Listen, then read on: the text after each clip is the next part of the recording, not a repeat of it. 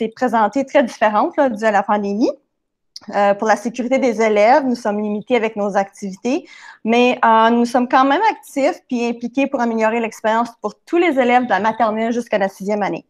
Nous avons environ huit rencontres au courant de l'année scolaire qui durent entre une heure et une heure et demie. Euh, pour ceux qui seraient intéressés de s'impliquer et d'être au courant des activités d'école, je vous encourage fortement à participer au conseil.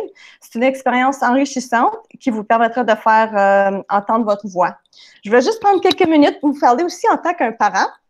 Euh, lorsque j'ai inscrit mon, mon, premier fils à l'école, ça fait déjà 12 ans de ça, je cherchais non seulement une bonne école, mais aussi un endroit qui offrirait un environnement d'apprentissage favorable à mon enfant.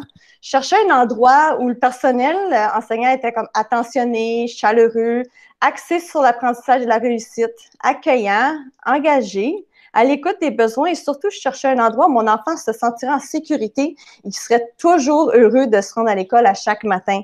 C'est exactement ce qu'on retrouve à l'école arc-en-ciel et même encore plus. Euh, je peux vous assurer que le personnel de cette, école est engagé envers la réussite et le bien-être de chaque élève comme s'ils étaient leurs propres enfants. Euh, c'est ce qui fait de notre école une des meilleures écoles avec la meilleure équipe. Quand j'écrivais ce que j'allais vous dire ce soir, j'ai demandé à mon fils, qui est maintenant en sixième année, ce que lui, il aimait le plus de l'école. Puis sa réponse, c'était les enseignantes. Euh, il m'a dit qu'elle était juste avec tout le monde, qu'elle était chaleureuse, gentille et qu'elle avait toujours des histoires drôles à leur raconter. Ici, on retrouve vraiment le sentiment qu'on appartient à une grande famille dans les bons temps autant que dans les mauvais. On retrouve du soutien lorsqu'on en a besoin avec ample communication avec les enseignants et la direction et les parents. Avec le COVID, ils ont su relever le défi puis assurer la sécurité de nos enfants malgré les difficultés et pour ça, ils ont toute mon admiration. Pour décrire l'école, je peux pas mieux dire que le slogan qu'on retrouve euh, devant l'école en ce moment qui dit AEC, communauté tissée serrée. Pour terminer, je vous souhaite la bienvenue à la grande famille de l'école Arc-en-Ciel et n'oubliez pas de vous inscrire pour le conseil en septembre. On vous attend avec les bras grands ouverts. Merci. Annie, un gros, gros merci à toi. Et là, chers parents et puis enseignantes et euh, Caroline, direction adjointe, j'ai oublié de débuter l'enregistrement. Donc, Annie, il va y avoir une petite coupure dans l'enregistrement de ta partie parce que je vais enregistrer ce soir pour les autres parents qui n'ont pas pu se joindre à nous. Et je vous dis ça pour que vous sachiez que, en fait, on est enregistré, puis j'étais un peu contente de l'avoir fait un peu plus tard parce que là, les enfants n'ont pas été enregistrés. Donc, ça part à partir du moment que qu'Annie, je ne vous ai pas eu la chance de vous le dire. Donc, je voulais juste vous laisser savoir que vous êtes à l'écran, vous êtes enregistré. S'il y a des parents qui veulent savoir les grands messages de ce soir, bien, à ce moment-là, ils vont pouvoir entendre euh, ce qui a été enregistré. Ça va? Donc, euh, la prochaine partie, c'est de parler un petit peu pourquoi on choisirait l'école arc-en-ciel. Une question, euh, personne a posé la question à propos de Passionnard euh, dans, dans le chat. Donc, oui, on a un programme Passionnard qui euh, a débuté cette année, en fait. Puis, Caroline pourrait en parler pas mal plus que moi. Elle peut peut-être mentionner un petit peu qu'est-ce que ça sous-entend, ce fameux programme-là. Oui, bien, c'est vraiment, Passionnard, c'est un programme en pleine croissance. Cette année, trois écoles élémentaires vivent le programme, dont l'école Arc-en-Ciel. Et puis, c'est vraiment faire un lien avec l'école secondaire Béatrice Deloge, qui est spécialisée dans les arts. Cette année particulièrement, ce sont les cinquièmes et les sixièmes années qui vivent des ateliers virtuels avec des artistes professionnels. Puis on touche vraiment différents domaines, que ce soit la musique, la danse, la comédie musicale, euh, l'art graphique. Les enfants, la bande dessinée, les élèves ont déjà commencé à vivre des ateliers en virtuel. Alors ça, c'est vraiment un programme qui est en développement et puis on pourra euh, en apprendre davantage au cours des années, des prochaines années, voir l'ampleur que ce beau programme-là va apporter à nos enfants. Le prochain thème, c'était des artistes en résidence. Encore, Caro pourrait en parler. on a eu des artistes en résidence qui sont venus euh, travailler avec les élèves pour faire des beaux projets avec les élèves. Donc, ça a eu lieu dans le passé. Maintenant qu'on a Passionnard, on a un petit peu euh, à juger si on veut ajouter les artistes en résidence aussi. Donc, on va pouvoir voir avec le qu'est-ce que ça apporte Passionnard puis faire des décisions dans cette veine-là. Bien entendu, on a la chorale, on a des équipes sportives. Cette année, ça a pris un petit peu le côté à cause de la COVID, mais c'est certain qu'aussitôt qu'on va pouvoir remettre ça en branle, on va le faire. C'est une école SCP. une école où la bienveillance règne, où on apprend à vivre ensemble de façon positive, puis toujours en, mettant l'accent sur le positif. Donc, euh, une autre chose, on travaille beaucoup l'autorégulation. On a débuté l'an passé, puis cette année, on poursuit avec ça. Donc, des stratégies pour euh, travailler sur l'autorégulation. On est une école, fière école, éco-école. Euh, depuis 2012. On sert habituellement des repas chauds. Encore cette année, COVID nous empêche, mais c'est certain qu'on a euh, des repas chauds habituellement qui sont servis à l'école. On a un programme de soutien pour les enfants en difficulté, comme dans toute école d'ailleurs, mais le programme très solide à l'école arc-en-ciel. On, commence très tôt avec les tout petits pour vraiment les aider à cheminer selon leurs propres forces et les défis qu'ils ont, où ils ont. Programme de soutien pour l'actualisation du français programme ALF. Et puis, on a un programme d'appui aussi, un programme d'appui pendant. Et puis, on a un service de garde euh, avant, après l'école qui s'appelle la coccinelle. Puis, si c'est un service qui vous, qui, vous plairait, c'est certain que vous pouvez prendre part à ce service-là. Euh, on aurait pu débuter avec tout ce beau personnel-là, mais à l'écran, vous avez en fait euh, moi-même, Julie Metz et puis Caroline, qui sommes la direction et direction adjointe cette année à l'école Arc-en-Ciel. Et puis, nous avons Marie-France, à qui vous avez sûrement parlé depuis le début pour les inscriptions. Et puis, on a Aline, qui est la commis, euh, qui est en appui avec Marie-France aussi. Donc, une équipe euh, au bureau, l'équipe administrative. Puis, on passe à tous ce beau monde-là qui sont, merci beaucoup d'être là ce soir à l'écran. Donc, nous avons Madame Catherine Michaud, un petit bonjour, Catherine à l'écran. Nous avons Tiffany McGurn à l'écran aussi. Nous avons Madame Raël Maillot, qui est à l'écran aussi. Un gros merci. Nous avons l'éducatrice Dania Duguay qui travaille en ce moment avec euh, Tiffany. Nous avons José Capoé qui travaille avec euh, Catherine. Merci beaucoup. Et puis nous avons Louise Mallette qui travaille avec Raëlma aussi. Et donc, un gros, gros merci à vous tous d'être ici ce soir. Donc, on va passer au programme, ce qui est le plus important dans tout ça. Donc, je laisse euh, Tiffany et puis Catherine vous parler du programme de la maternelle et du jardin. Oui, alors bonjour à tous. Alors, le programme euh, PMGE, donc le programme de la maternelle et du jardin d'enfants, c'est quoi? Eh bien, c'est un programme fait pour les enfants. Et qui dit enfant dit on joue. Alors, en maternelle au jardin, on joue beaucoup. On apprend à vivre ensemble à travers des jeux. On fait des apprentissages euh, plus spécifiques comme en français en mathématiques à travers le jeu. On manipule beaucoup. Donc, on explore vraiment notre environnement.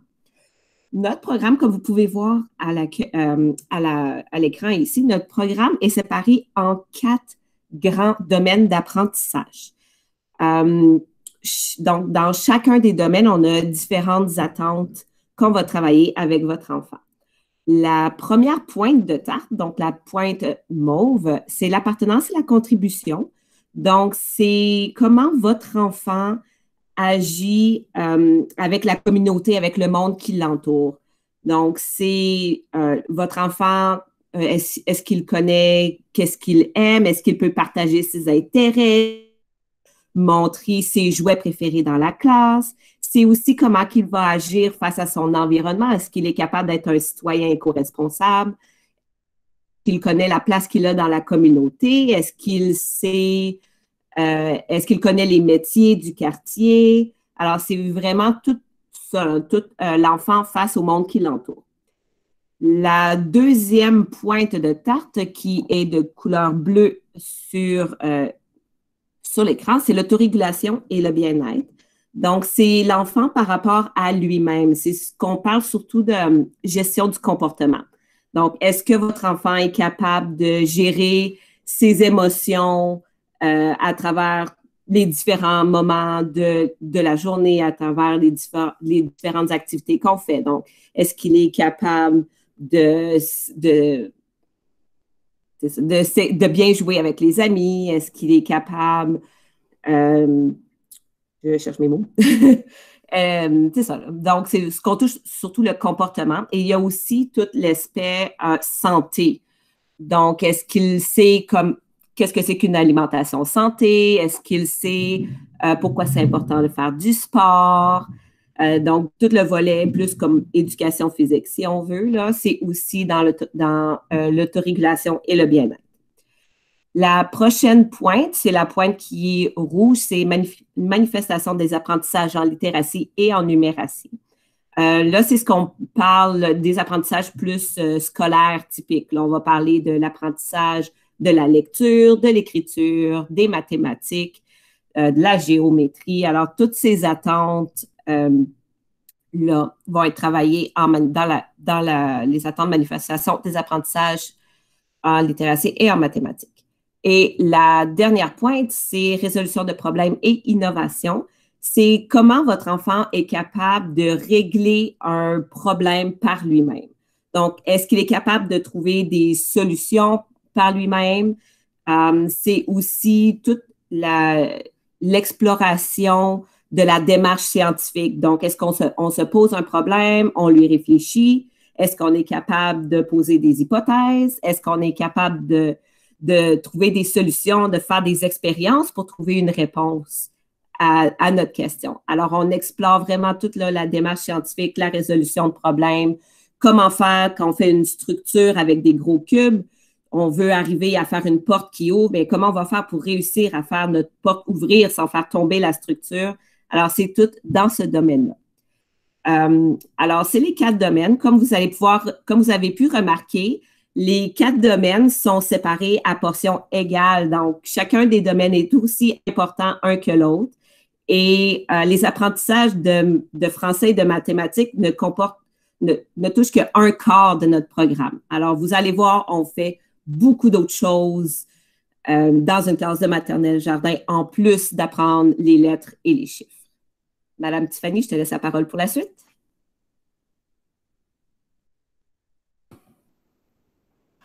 Alors, bonjour tout le monde, bonjour chers parents, bonjour aux cocos et cocottes à l'écran, bonjour! bon, euh, merci Catherine, euh, super bien dit. Alors, euh, ma partie, c'est un peu plus une journée typique à la maternelle et le jardin. Je sais que c'est la grosse question des parents quand vos petits commencent la première journée. Alors, je vais vous l'expliquer. Je ne vais pas aller en gros détails, je vais vous donner les grandes lignes. Euh, en gros, euh, votre enfant va avoir deux temps amorcés par l'enfant. Alors, en autre mots, il va, avoir deux temps euh, de jeu libre. Pendant ce temps-là, l'enfant a le choix d'aller dans l'ère d'apprentissage qu'il ou elle veut et il ou elle peut jouer avec le matériel qui l'intéresse et qui est mis à sa disposition. Alors, deux temps d'approximativement 30 à 40 minutes pendant la journée.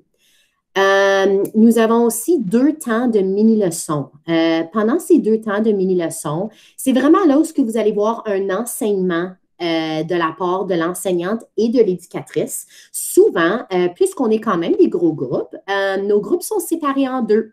Alors, l'enseignante enseigne et l'éducatrice enseigne. Puis, les groupes sont vraiment mélangés avec des, amis de la maternelle et du jardin. Euh, souvent, c'est où ce que vous allez voir nos apprentissages en maths, littératie, euh, puis les trois autres domaines que Catherine vous a présentés. Euh, nous avons un temps de dîner et un temps de relaxation. Je sais que ça, c'est toujours une question que les parents nous demandent. Est-ce que mon enfant peut dormir ou s'il ne dort pas, qu'est-ce qu'il fait? Alors, oui, ton enfant peut dormir s'il il dort encore à la maison. Euh, et s'il ne dort pas, euh, on a toujours des petits jeux euh, calmes comme des casse-têtes, des dessins ou quoi que ce soit pour occuper votre enfant pendant ce temps aussi. Mais c'est quand même un temps où un temps un peu plus zen où on, on, va, on va, relaxer, on va se reposer après le dîner. Euh, nous avons habituellement aussi deux récréations où euh, l'enfant peut aller, va aller dehors et euh, profiter de l'air frais. Souvent aussi, quelque chose que j'ai oublié de mentionner, pendant nos temps de mini-leçons, souvent nous apportons l'enseignement à l'extérieur. Alors, on aime beaucoup faire la classe extérieure à l'école arc-en-ciel. c'est vraiment de prendre l'apprentissage puis de l'apporter dehors, puis de, de, faire des activités de maths, littératie, peut-être dans la forêt ou euh, sur les structures si on aura le droit l'année prochaine avec euh, restrictions COVID. Euh, alors, c'est ça. Ça, c'est un peu une journée typique. Puis, comme Julie et Caro ont mentionné tantôt, la fin de la journée, ils partent soit à l'autobus marcheur ou à la garderie parascolaire, la coccinelle ici à Arc-en-Ciel. Alors, la classe de maternelle jardin est composée d'une enseignante et une éducatrice de la petite enfance. habituellement, lorsqu'une classe a plus que 15 élèves, il va y avoir une éducatrice qui est aussi présente pour toute la journée avec l'enseignante. Euh, nos classes euh, de maternelle jardin à travers du conseil scolaire sont des classes mixtes. Alors oui, vous allez retrouver des enfants de la maternelle et du jardin dans une même classe et il y a tellement d'avantages et d'impacts positifs euh, à cette initiative. les amis de, jardin développent vraiment leur leadership, leur empathie. Puis pour les amis de la maternelle qui nous arrivent, ils ont des bons modèles francophones qui les aident. Euh, qui les aide à trouver un peu euh, leur sens d'appartenance et contribution à la salle, à leur salle de classe. Euh, ils ont été avec nous toute, toute l'année. Alors, ils sont habitués aux routines. Ils peuvent aider vos cocos qui rentrent en salle de classe. la raison pour les classes mixtes aussi, c'est que le programme de la maternelle du jardin est le programme de la maternelle du jardin d'enfance est étalé sur deux ans. Alors, l'enfant a deux ans pour atteindre toutes les attentes. Alors, voici pourquoi euh, qu'il reste dans sa même classe habituellement pour deux ans, puis qu'on retrouve maternelle et jardin. Euh, le matériel, euh, alors la classe, l'aménagement d'une salle de classe est vraiment composé de différentes aires d'apprentissage. On en retrouve habituellement cinq. Alors, on a l'air dramatique. J'ai mis des petites photos à la fin si vous, juste pour vous donner une petite idée. Euh, alors, on a l'art dramatique où ce on a toujours comme une cuisine, des poupées, euh, habituellement des costumes. On espère les retrouver l'année prochaine aussi, encore une fois cette année avec le COVID. Euh, on ne peut pas avoir des choses comme ça, des, ben, des costumes. Alors, les enfants sont quand même très créatifs et se trouvent d'autres façons à, à, jouer puis à faire vraiment leur jeu sociodramatique.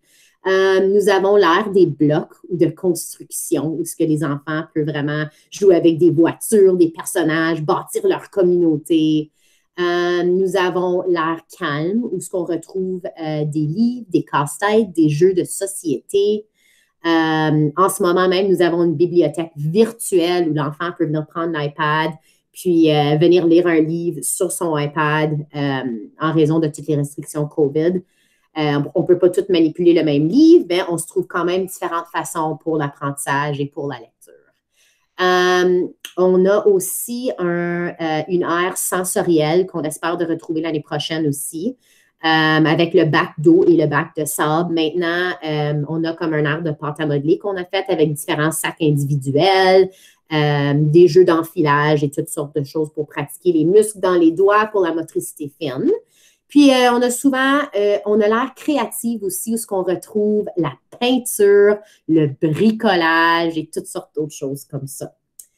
Euh, c'est ça. Alors, le, le, matériel pédagogique qui est mis dans la salle de classe, c'est habituellement est choisi par l'enfant. Ça reflète toujours, toujours, toujours les intérêts des enfants.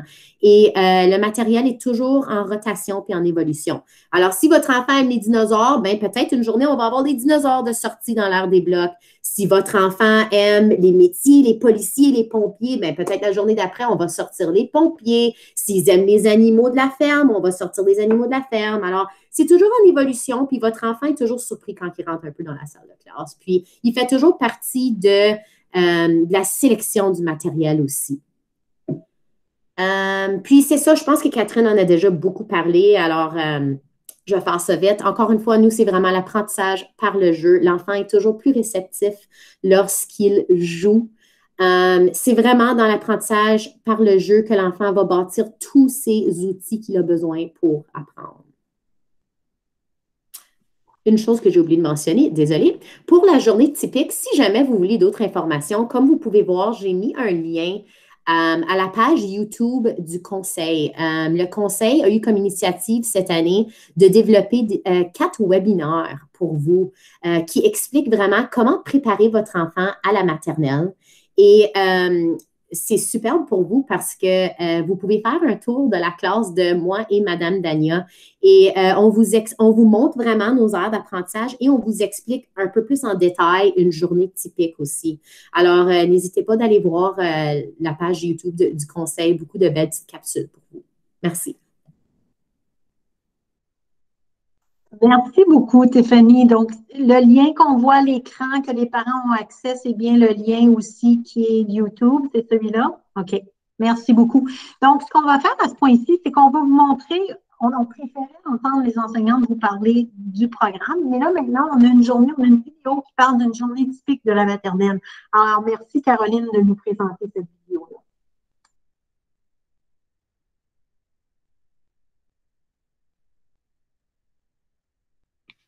Ce sera pas long, je dois repartager mon écran pour changer d'onglet.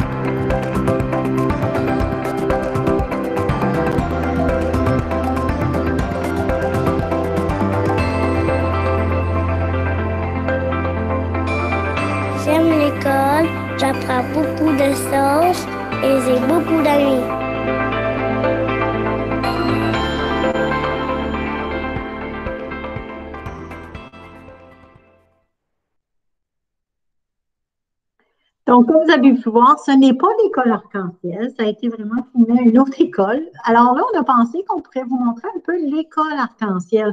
On a deux façons de le faire. On peut vous montrer un peu en photo ce que l'école arc-en-ciel a l'air. Et puis aussi, on a une petite vidéo de quelques, je dirais peut-être une minute là, de l'intérieur de l'école. Donc, Caroline, je ne sais pas si tu peux ouvrir la visite virtuelle. On voit quelques photos ici. Dans la visite virtuelle, on peut vraiment voir l'intérieur de l'école. La visite virtuelle a été faite euh, deux ans, deux ans passés. Ils sont venus filmer, en fait, prendre des photos. Alors, euh, tu peux, si tu es capable, Caroline, de l'ouvrir et puis de, de montrer les photos de cette visite virtuelle-là. Et puis, en fait, je ne sais pas, si tu ne réussis pas, c'est pas grave. On va passer à la prochaine qui est la vidéo. puis juste de débuter la vidéo à partir de 26, ouais, on va aller à la vidéo. On va la partir à 26 secondes et puis on va l'arrêter à 1,55, Caroline. Euh, la vidéo, en fait, c'est une vidéo qu'on a fait euh, quelques années passées. Euh, le directeur était à ce moment-là Marc Blake et puis moi-même, on avait fait cette vidéo-là. Donc, on va couper un peu le début parce que un message de Marc et moi, mais on peut vous montrer l'intérieur de l'école avec cette vidéo-là. Donc, Caro, si tu, es capable de montrer, puis de, ça serait superbe. Ça va vous donner une petite idée de l'intérieur de l'école, puis des classes que l'on a ici à l'école arc-en-ciel. Je te laisse passer. Puis vous-même, vous allez pouvoir voir, chers parents, euh, en regardant la visite virtuelle, vous allez pouvoir voir des photos vous-même dans la présentation par la suite. Si tu vas à 26, ça serait parfait. Merci, Caro. Et d'autres qui t'ennuient. Hmm, moi, j'ai le sentiment toujours de viser l'infini. Il est temps de s'unir sous une voile. Il est temps enfin pour nous de faire un choix. Hmm, c'est vrai qu'on s'est souvent trompé, mais faudrait pas toujours faire pareil. Tout ce qu'on a besoin, c'est un peu de soleil. Que ferais-tu pour l'argent ou encore pour la gloire? Mais peu importe comment tu joues, il faut toujours y croire. Il y aura des déceptions, non, ce n'est pas la fin. Oh, ensemble, on se tient par la main vers un nouveau chemin. Il est temps de s'unir sous une voile. Il est temps enfin pour nous de faire un choix. S'est souvent trompé, mais faudrait pas toujours faire pareil. Tout ce qu'on a besoin, c'est un peu de soleil de soleil.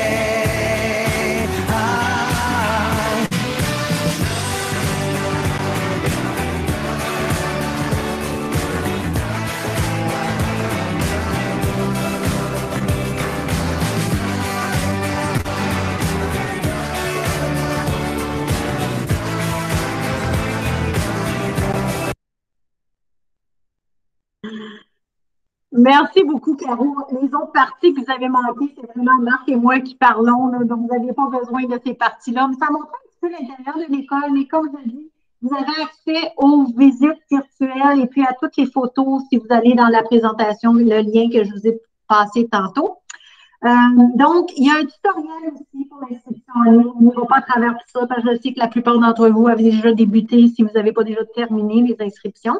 On va passer à la prochaine, Caroline. Là, je voulais vous parler de Mme euh, Julie euh, de César. Julie, est-ce qu'elle est là? Avec nous? J'avais oublié de voir. Bonsoir tout le monde. Allô? Merci beaucoup d'être là avec nous. Et puis Stéphanie, qui vont être dans les rencontres de mardi et jeudi avec vous et avec votre enfant. Et le but de tout ça, c'est juste les laisser parler, laisser les madames, euh, ils vont juste poser des questions.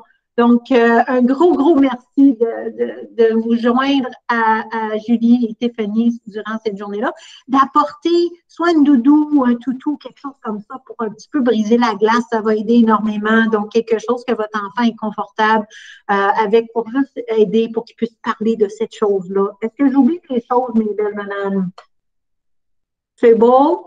Donc, ces rencontres-là ont lieu mardi. Donc, vous avez déjà eu l'invitation de Mme Marie-France et va avoir lieu aussi jeudi. Donc, c'est un peu notre façon de voir puis d'apprendre à vous connaître aussi un peu. Alors, le processus d'inscription, euh, c'est certain qu'il y a toutes les réponses à cette diapo-là. Il y a questions-réponses pour les parents et ainsi de suite. On va passer à la prochaine, Caroline, qui est, je crois, les informations, les ressources euh, on n'entrera pas dans ça non plus, mais il y a plein de belles ressources aussi que vous avez accès. Et la dernière partie aussi est encore une euh, ressource, une panoplie de ressources. Et je vous avoue, le premier lien qui est préparé votre enfant pour la maternelle et le jardin serait un très bon lien d'aller revoir. Puis nous, ce qu'on a fait aussi, c'est qu'on va avoir euh, une, en fait, ces ressources-là, on va les remettre au mois de mai on va vous demander de venir faire un petit tour. Puis on a toutes ces ressources-là pour vous dans un, genre de, petit euh, cartable comme ça. Puis on a un autre cadeau que vous ne montrez pas à l'écran, mais on a quelque chose à vous remettre aussi au mois de mai. Donc après la rencontre de bienvenue à la maternelle, on va vous mettre un petit quelque chose aussi. pour garder un peu en haleine d'ici le mois de juin pour tout ça. Donc, est-ce que vous avez, chers parents, des questions pour nous suite à cette présentation ce soir en porte ouverte? Encore une fois, un gros merci à vous. Il y avait des questions pour nous ce soir.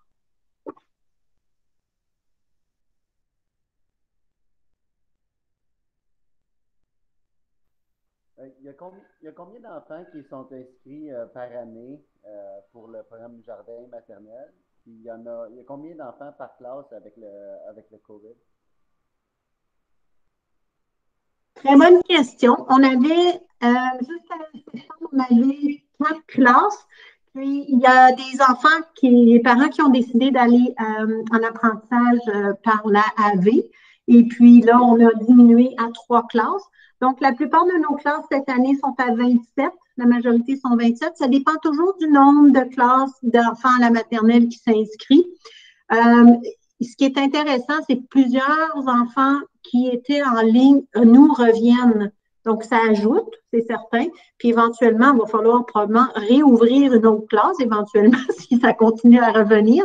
En ce moment, on a, euh, si je ne me trompe pas, une dizaine d'élèves encore qui sont au AAV cette année, mais tout dépend du choix du parent pour savoir est-ce que l'enfant, le parent choisit la vie ou choisit d'être en présentiel. Mais la majorité, bien entendu, choisit le présentiel. Mais cette année, nos classes sont à 27 avec une éducatrice puis une enseignante. Est-ce que ça répond à la question? Est-ce que j'ai fait le tour? Oui, ça répond à la question. Euh, juste deux autres questions. Euh, le service de repas chaud, y a-t-il un frais associé à ça ou c'est gratuit? Et euh, c'est quoi les, horaires, mettons, de, la semaine? En fait, c'est une très bonne question. Cette année, on n'a pas de repas chaud à cause de la COVID. Euh, aussitôt qu'on va avoir le, le, le c'est beau, on peut y aller. Les vendredis, on avait les dîners pizza et ça, je ne sais pas si Annie est encore là, mais les parents s'occupaient de, de, ça. Euh, donc, ça, c'est un des repas. C'est les parents qui paient pour les repas, ce n'est pas l'école. Euh, puis, ce qu'on avait euh, l'an passé, c'était, euh, oh mon Dieu, c'était qui le, le, traiteur, Caroline? C'était Mazola, je crois? Oui. Oui, c'était Mazola. Et là, les parents choisissaient selon un menu euh, ce qu'ils voulaient que les enfants aient, puis ils avaient un menu à choisir et ils pouvaient prendre les repas comme s'ils voulaient avoir, euh, je ne sais pas, une semaine, il y avait tel menu, puis ils l'aimaient, ils pouvaient choisir. Donc, c'était tout à la décision du parent. Là. C'était le parent qui choisissait. Mais cette année, malheureusement, on n'a pas l'option de repas chaud mais on va espérer que l'an prochain, on va pouvoir repartir, avec tout ça. merci, Annie. Oui, tu peux faire du pouce, Annie, parce que je sais que tu connais ça plus que moi. Euh, on avait aussi les, repas Subway qu'on avait commencé euh, à offrir les mardis. Euh, je ne sais pas si tu t'en souviens, on avait commencé ça au mois de janvier-février l'an passé. Et puis, comme je l'ai dit, on avait les repas chauds de Mazola et puis la pizza à tous les vendredis. Exactement, oui, on avait commencé ça. Oui, c'est vrai. Merci de racheter ça, Annie. En PMGE, est-ce que les enseignants, j'ai une question en ligne, juste une petite seconde. Euh, est-ce que les enseignants utilisent les écrans pour les fins d'enseignement ou pour garder l'enfant occupé avec des séries télévisées pendant que les enseignants s'occupent de la paperasse? Ah, les enseignants peuvent sûrement répondre à cette question-là. On demande si on utilise l'écran. Vas-y, Stéphanie. Euh, comme on est exemple que j'avais donné tantôt, euh, cette année, euh, en raison de la COVID, euh, on ne peut pas partager les livres. Alors, habituellement, on a une bibliothèque où ce que les enfants peuvent aller dans leur canne, prendre un livre, s'asseoir. cette année, c'est plus comme ils ont leur propre sac de livres. qui sont en rotation, mis en quarantaine et tout ça. Mais on a aussi une bibliothèque virtuelle avec des codes QR. Alors, par exemple, euh, pendant le temps libre ou pendant le, temps de jeu, l'enfant peut choisir d'aller prendre un, des, quatre ou quoi que ce soit iPad qui, qui est là pour lui et il peut aller comme utiliser l'iPad pour lire une histoire euh, ou euh, pendant un temps d'enseignement, plusieurs de nos leçons cette année, bien plusieurs, certaines de nos leçons cette année ont utilisé la technologie en au service de l'apprentissage. Alors, ce n'est pas pour occuper les enfants, c'est vraiment pour apprendre. Alors, ils ont utilisé, l'iPad pour aller euh, scanner les codes QR, puis, euh, tu sais, ils devaient dire la lettre qui apparaissait. Alors, euh, c'est toujours, toujours, toujours pour des fins d'apprentissage, toujours une intention pédagogique et pas seulement juste pour se divertir puis de regarder la télévision ou quoi que ce soit. Tout, est toujours très, très, très éducatif. On fait très attention à la façon qu'on utilise les iPads.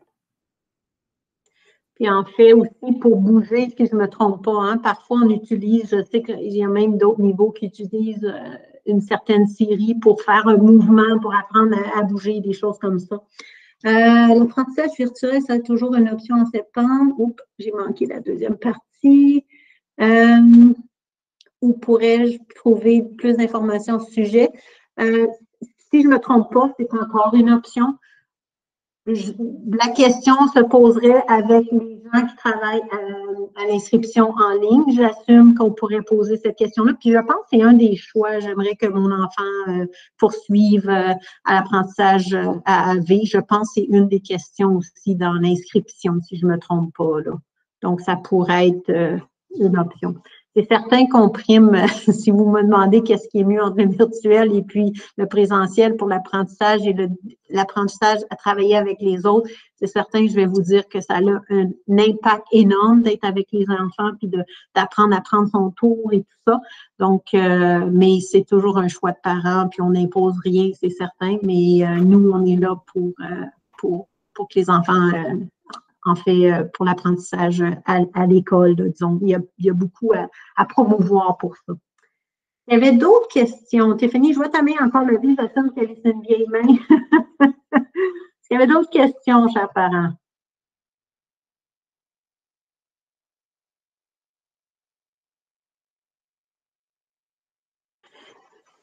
Je veux vous dire un gros, gros merci s'il y a des questions, vous savez qu'on est aussi loin que euh, le téléphone, donc n'hésitez pas de communiquer avec nous. Euh, Marie-France et Amine vont prendre certainement, vous pouvez même nous envoyer un, courriel s'il y a des questions. Euh, n'hésitez pas de prendre le lien tout de suite pour la présentation, pour y avoir accès suite à cette, à cette soirée. Et puis, on a une rencontre au mois de mai. On va vous inviter à Bienvenue à la maternelle où on va avoir euh, autre, une autre session virtuelle où on, va pouvoir se rencontrer puis encore parler de qu'est-ce qu'on peut faire, euh, euh, qu'est-ce que c'est la, la, maternelle. Donc, ça va nous faire plaisir de vous rencontrer. Je crois que c'était le 20 mai donc jeudi. Donc, on a très hâte de vous revoir ce moment-là. Merci à vous d'être là. Puis les amis, on a hâte de vous voir au mois de septembre.